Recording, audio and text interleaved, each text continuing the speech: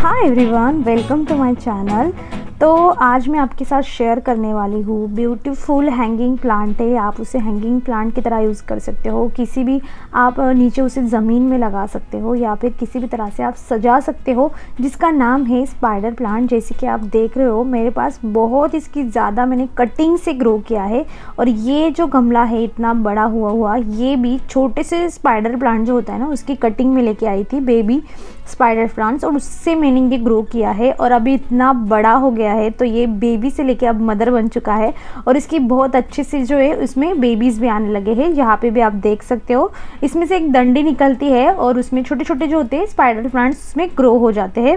सो so, अभी ये situation यहाँ पे कि यहाँ पे इसके खुद के स्पाइडर प्लांट हो, हो रहे हैं तो इसके लिए जो भी हमें ज़रूरत होगी आज हम इस वीडियो में देखने वाले हैं। अगर आप इस चैनल पर नवे, नए हो और अगर आपने अभी तक सब्सक्राइब नहीं किया है तो मेक श्योर sure करके चैनल को सब्सक्राइब कर लीजिए। तो चलो स्टार्ट करते हैं आज का वीडियो तो आज हम देखने वाले हैं कि स्पाइडर प्लांट के लिए कैसी जगह चाहिए, कैसी मिट्टी चाहिए, कैसा गमला चाहिए ओवरऑल इसकी केयर हम किस तरह से कर सकते हैं, ये सब हम देखने वाले हैं। तो इसी जो स्पाइडर प्लांट आप देख रहे हो इसमें मैंने जो टर्टल वाइन होती है, वो भी मैंने ग्रो कर ली है और सभी ये जो मेरे देख रहे हो आप यहाँ पे, ये भी मैंने कटिंग से लगाया है और इतने छोटे से पॉट में मैंने इसको लगाया है।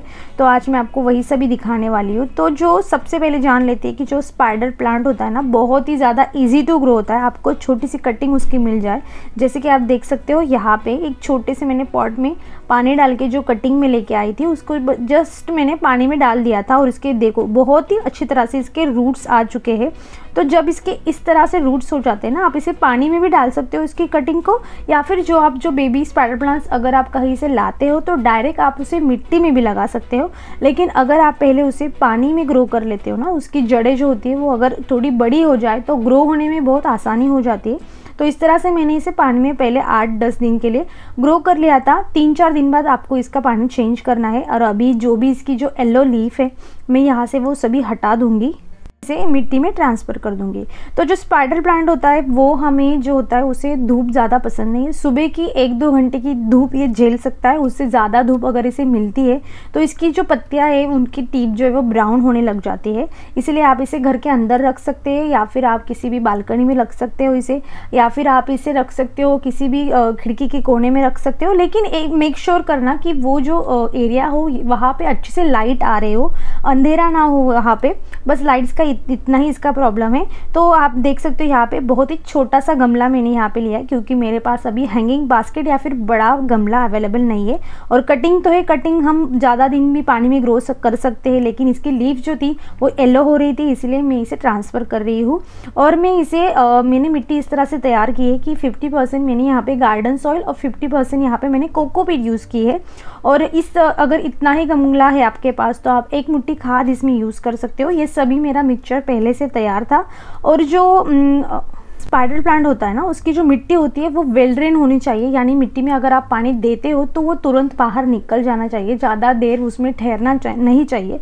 यानी कि आपको चिकनी मिट्टी यहाँ पे बिल्कुल भी यूज़ नहीं करनी है। अगर आप नर्सरी से भी ये प्लांट खरीद के लाते हो और उसमें चिकनी मिट्टी में ये ग्रो हो रहा है तो आपको मेक श्योर sure करके वो मिट्टी आपको हटा के नए जो मिट्टी बना के आपको उसमें उसको रिपोर्ट करना पड़ेगा। तो ये तो हो गई मिट्टी की बात आप सभी आ, समझ चुके होंगे। और अगर इसकी फर्टिलाइज़र की बात की जाए तो इसमें बहुत ज़्यादा फर्टिलाइज़र की ज़रूरत नहीं होती। है अच्छी से अगर आपने मिट्टी जब आप बनाते हो तो उस वक्त अगर आपने 20 परसेंट गमले के साइज़ के हिसाब से 20 परसेंट भी अच्छी सी कोई खाद यूज़ की है तो आपको ज़्यादा इसमें कोई भी फर्टिलाइज़र देने की ज़रूरत नहीं है। महीने में अगर आप चाहते हो तो एक महीने के बाद आप इसमें onion field fertiliser, rice water या फिर जो हमारा ऑरेंज फ़ील्ड फर्टिलाइज़र होता है, वो भी आप दे सकते हो।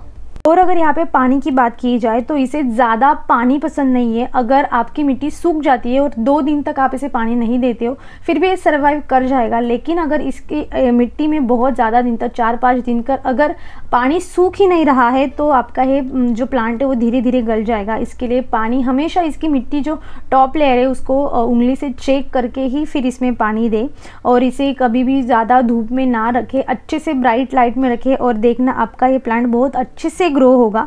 तो इस तरह से इसकी ये सारी जानकारी मैंने आपके साथ शेयर की है। मेरे पास बहुत ही ज़्यादा इसकी कटिंग से ग्रो किए हुए जो स्पाइडर प्लांट मैंने लगाया है और आज वो बहुत ज़्यादा बड़े हो चुके हैं। तो कहीं से भी अगर आपको इस तरह से इसकी कटिंग मिल जाती है, अगर आप गार्डनिंग करना चाहते हो और आप बिगिनर्स हो तो ये प्लांट्स आपके लिए बहुत ही अच्छा है, बहुत शुभ माना जाता है। तो इसके लिए आप इसे नर्सरी से भी ला सकते हो या फिर कटिंग से आपके दोस्तों से, पड़ोसी से मांग सकते हो। और इस प्लांट को अगर एक बार आ जाए तो इसके मल्टीपल आप प्लांट्स बना सकते हो। डिवाइड करके भी अगर बड़ा हो जाए तो उसको डिवाइड करके भी आप इसे बढ़ा सकते हो।